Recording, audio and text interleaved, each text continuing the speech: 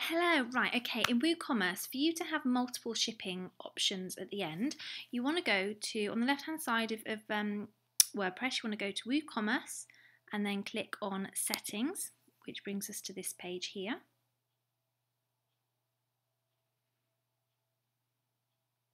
And then up here we want to click Shipping.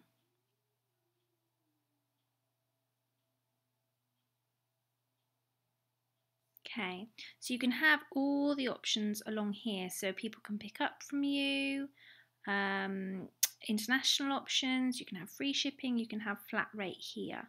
So if we, um, on the shipping options tab, we've got enable shipping, enable shipping calculator on the cart page, um, display shipping message with the radio or have a drop down, it's up to you. Shipping destinations, default shipping address um, or default to billing address. Um, and, and you can also have it that you only ship to the user's billing address if you, if you don't want to, them to have different shipping addresses, which can sort of help with fraud and things like that. But I think in this day and age, you know, it can be quite restrictive. So, but there is that option if you want to. You can also only ship to countries you sell to, which you can um, edit here. So if you don't want to ship internationally or you just want to ship in Europe or you just want to ship within a certain um, group of countries, then you can you can set that here. So here's all the options and, and you can see which ones are installed. So I've got um, table rate shipping, which is a plugin that I've installed here. But what we're going to have a look at is the flat rates. If we go over to um, flat rate here, so don't forget WooCommerce, settings, shipping, and then we're going to click flat rate here.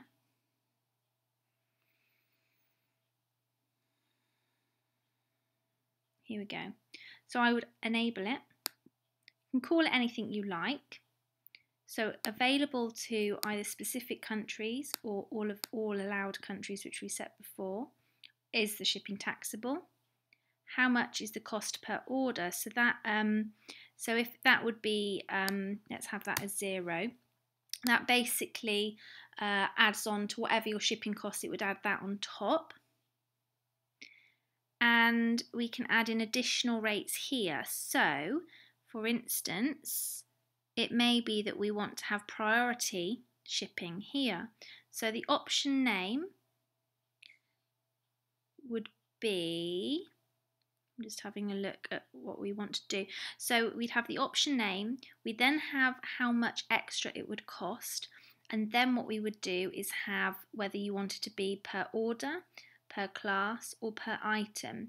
So if you, normally it would be per cart, um, so you know per order. So you'd have like an extra five pounds if you wanted it to go priority, you know, on top of your normal shipping or something like that if you want if you sold so for instance we at the keepsake company have different classes because we have different suppliers that it comes direct from sometimes so they have their own shipping classes so we use class.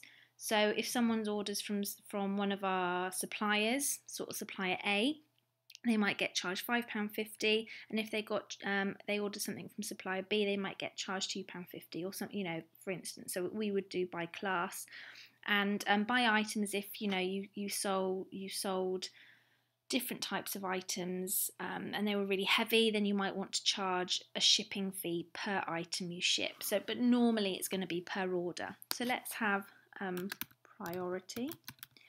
And also you use the pipe which is the the straight down. Now if it doesn't work it may be that you're not using the right pipe or something similar but it's on your keyboard it's the the straight line going down without any gaps or anything. So let's have uh, plus two pounds and then we would have um, order like that. now here, here's additional cost. So again, per order, so any class is going to be £2.50.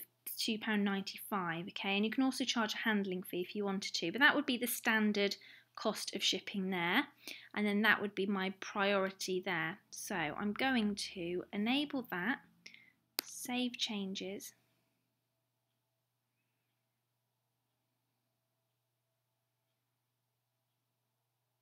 and then we'll go and see what it looks like over on the on the um, front end.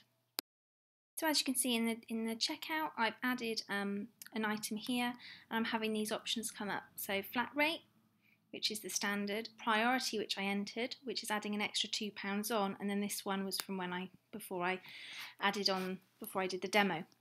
So you can have, you know, this is how you can add additional options at, of shipping at the checkout.